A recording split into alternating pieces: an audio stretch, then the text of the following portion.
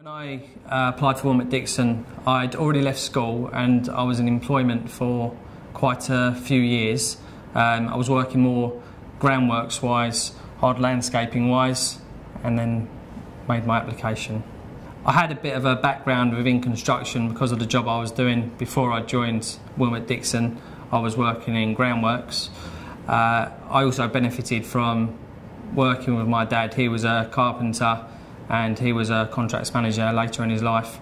Uh, so I did a lot of work with him when I was younger, and a lot of building sites and the like I visited when I was growing up. I joined the trainee scheme for four years. Uh, in the fifth year, I became an assistant.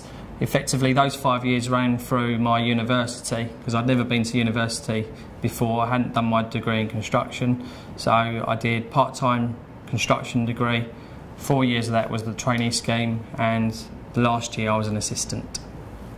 For me, the, the challenges weren't so much the technical initially because I was I benefited from having a, a grounding in that, but there's always much to learn. Um, there's a lot of other avenues that I, I a lot of different trades I never came across uh, hands-on wise. So there was a lot to learn there, but I really did benefit from the people I was working with within the, the trainee scheme and since the trainee scheme really. Um, I had my own uh, career aspirations and goals that I want to achieve.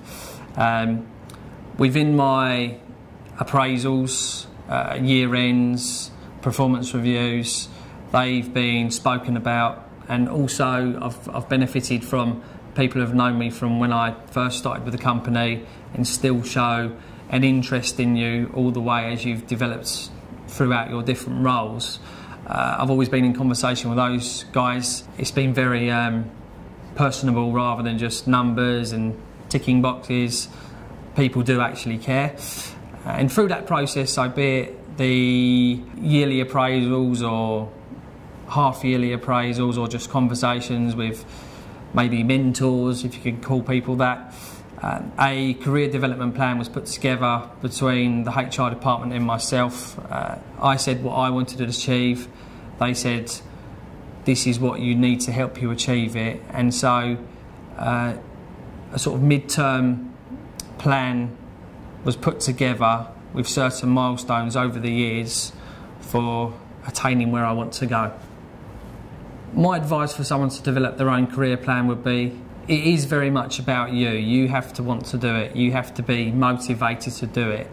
You need to share with the relevant people what you'd like to achieve.